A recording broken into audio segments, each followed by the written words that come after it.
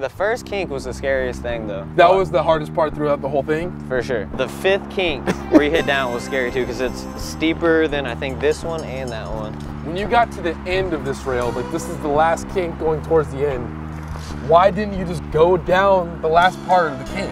I was trying, trust me. So you had like you actually had enough speed at this point to clear it. Yeah, Did you kind of know you had it the at that first time I was going like that, I was gonna like firecracker, and that's what I was saying. I was like, if I firecracker, I'll take it. But like, Yeah. the one I land, yeah, I was like leaning this way, rolling the window. Yeah. I'm like, yeah, all right. But when I saw that trick, I knew that that was trick of the year. That clip literally went viral.